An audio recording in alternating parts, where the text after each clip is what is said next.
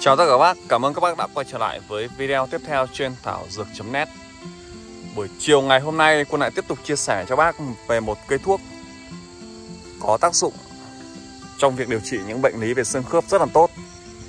Đây các bạn này. Cây mà có lá hình trái tim này các bạn này. Đây. Lát nữa Quân sẽ mô tả chi tiết cái cây này Bởi vì trong tự nhiên có một vài cây giống với cây này để các bác nhận diện chính xác loại cây này trong tự nhiên tránh nhầm lẫn với các cây thuốc khác. Cây hôm nay quân muốn chia sẻ cho bác cái công dụng của nó. Đó chính là dây đau xương. Đây. Nó là dạng dây các bác này. Đấy, nó leo những cây khác. Lá hình trái tim. Đây là cái dây ở đây các bác. Đấy. Trên dây nó có những cái đốm này. Đấy, nó có những cái đốm. Dây đau xương các nhá. Cây này có tên khác đó là khoan cân đằng. Trong đông y đánh giá cây này có vị đắng tính mát quy vào kinh can tác dụng là trừ thấp thư cân hoạt lạc. Có thể sử dụng ở dạng giã đắp bên ngoài hoặc sắc nước uống bên trong. Cũng có thể là sử dụng ở dạng ngâm rượu cái kinh nghiệm đầu tiên muốn chia sẻ cho bác Khi các bác mà bị đau nhức xương khớp Đau lưng Đấy. Các bác ở tuổi già rồi các bác bị đau lưng đấy ạ Làm việc nặng nhọc hoặc là đi lại Mà thấy cái phần uh, sống lưng bị đau nhức Mỏi lưng nữa Thì các bác có thể sử dụng cái dây này Đấy. Các bác không lấy ná nhé Mà lấy dây này các bác này Lấy dây Bóc lấy cái vỏ đấy ạ Bóc cái vỏ khoảng độ 50 gram. Cái cây thứ hai nữa cũng rất là gần thôi. Đấy, các bác nhìn cây gì chưa đó chính là cây cúc tần. Các bác lấy cho quân cái cái rễ cây cúc tần, có nhé thứ hai đó là rễ cây cúc tần. Cái thứ ba, ở gần đây cũng có, đó chính là rễ của cây xấu hổ, hay gọi là cây trinh nữ. Ở bên ngoài kia có, quân vừa đi qua bên ngoài kia có. Nhưng mà trong này thôi à, nói đến cây xấu hổ cây trinh nữ các, các bác là biết rồi đúng không ạ? Thứ ba đó là rễ cây xấu hổ hay gọi là cây trinh nữ.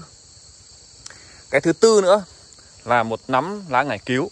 Đấy bốn loại thôi các bạn khi bị đau lưng nhá đau lưng ở tuổi trung niên hoặc người già các bác đau ở phần xương sống các bác có thể là lấy dây này khoảng 50g rễ của cây uh, cúc tần 30 gram.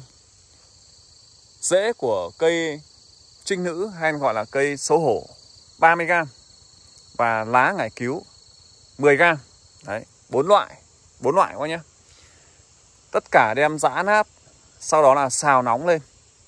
Đấy. Và cho thêm một chén rượu trắng nữa vào. Đấy. Khi cho rượu vào Và thuốc đang nóng như vậy là Các bác để ra Để còn hơi nóng một chút Là các bác đắp lên lưng đắp lên lưng.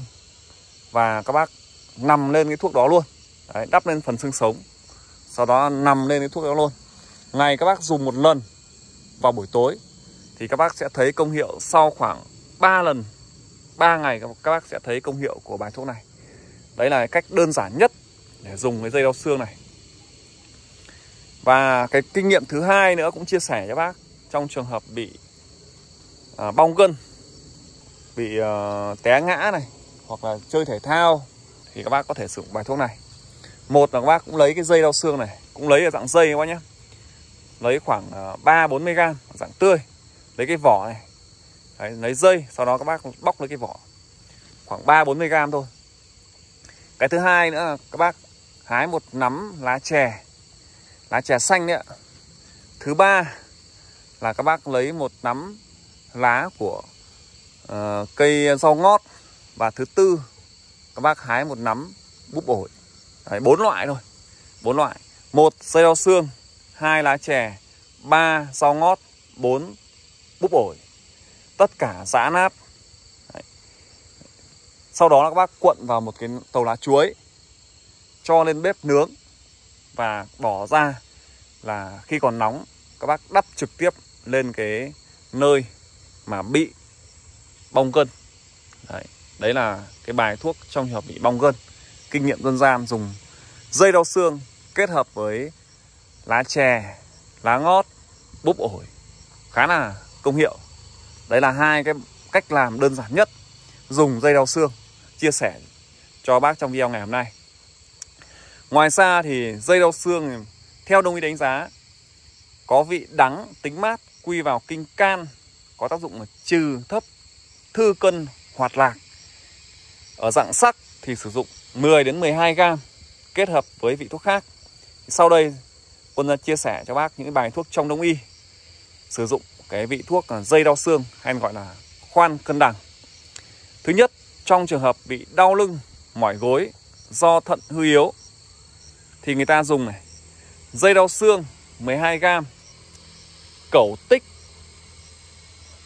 20 gram củ mài 20g tỳ giải 16g đỗ trọng 16g cốt toái bổ 16g thỏ ti tử 12g rễ cỏ xước 12g bài thuốc này dùng trong trường hợp bị đau lưng, mỏi gối do thận hư yếu. Và cách dùng đó là sắc chung hoặc ngâm rượu để uống trong ngày. Đấy. nếu mà ngâm rượu thì mỗi một ngày là uống khoảng à, 2 đến 3 chén nhỏ. Còn à, sắc uh, sắc nước thì là uống trong ngày. Đấy là trong trường hợp bị đau lưng mỏi gối do thận hư yếu. Trường hợp thứ hai đó là dùng trong trường hợp đau xương khớp do phong thấp. Trường hợp này thì người ta dùng dây đau xương này lá lốt này rễ cỏ xước này rễ gối hạc này cốt khí củ này, cam thảo nam này, rễ cây tầm soạng này. Mỗi vị là 20g uống ngày một thang.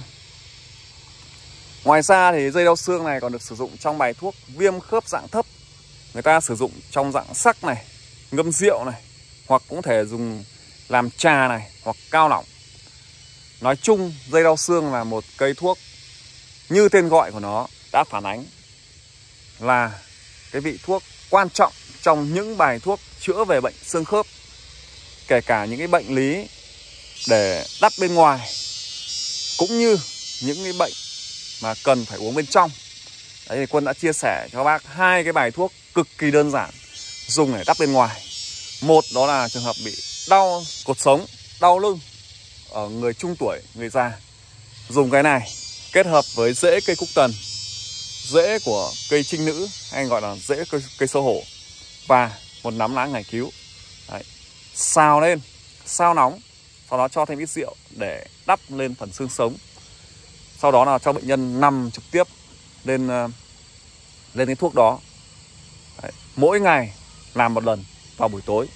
Trường hợp thứ hai nữa đó là trường hợp bị bong gân dùng cái này kết hợp với lá chè kết hợp với lá ổi kết hợp với lá rau ngót, giã nát, cuộn vào một tàu lá chuối, đem nướng lên và khi nào thuốc nóng là đắp trực tiếp, bó trực tiếp lên cái nơi bị bong gân ngoài ra, cây này còn ờ, trong dân gian thì người ta dùng trong cái bài thuốc chữa rắn độc cắn. Cũng chia sẻ cho bác này, các bác nắm được. Rắn độc cắn thì người ta dùng lá cây rêu xương các nhé lá rêu xương. 20g thài lài 30g tía tô 20g rau sam 50g tất cả dùng ở dạng tươi, giã nát, vắt lấy nước cốt cho bệnh nhân uống, bã, đắp lên nơi bị rắn độc cắn.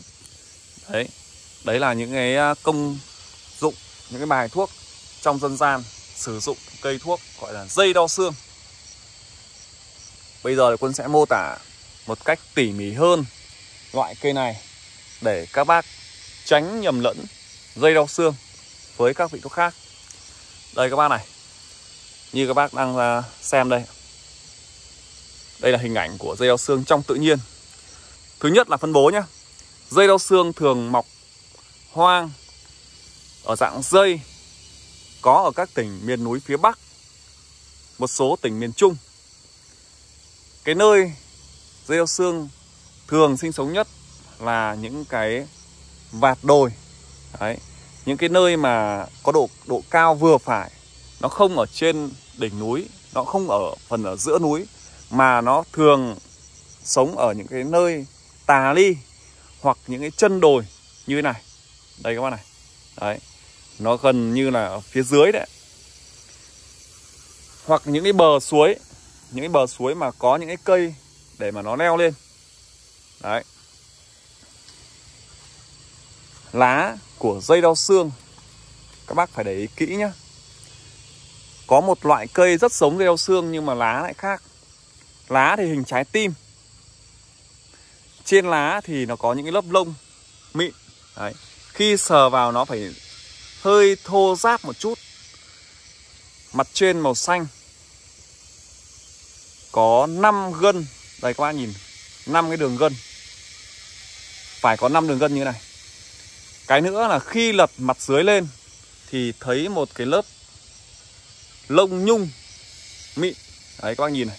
Màu trắng này. Màu nó hơi ngả sang màu trắng một chút, nhưng không phải là màu màu lá, mà chính là cái màu, cái lông của nó. Đấy. Một số loại lá, nó có hình dáng trái tim như này, dây nó cũng gần giống như này. Nhưng cái mặt dưới và mặt trên nó không có cái lớp lông nhung. Đây các bác, để quân đặt cái góc máy như này, các bác thấy lớp mặt trên nó cũng có một lớp lông nhung này ạ. Hơi trắng trắng đấy ạ. Đấy. Mặt dưới thì cái lớp lông nhung nó nhiều hơn. Đây. Các bác nhìn thấy chưa? Nó trắng. Đấy, mới là cây dây đau xương. Khi nhấm cái lá này,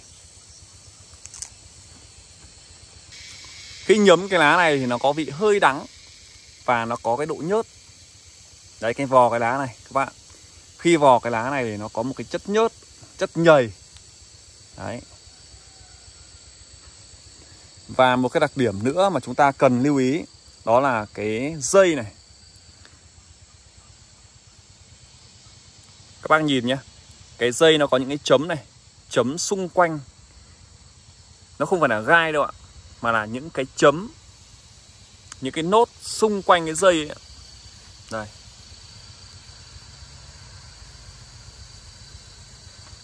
đây ạ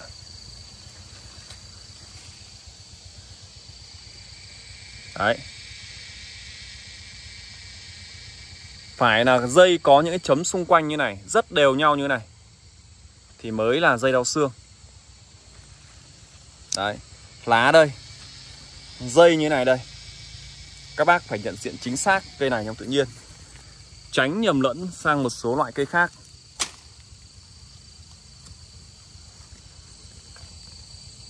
Đấy, quân vừa nắm đứt cái dây ấy. Khi chém cái dây này ấy, thì nó có nhựa nó tiết ra. Đấy, cái nhựa đây này. Nó cũng hơi nhớt một chút.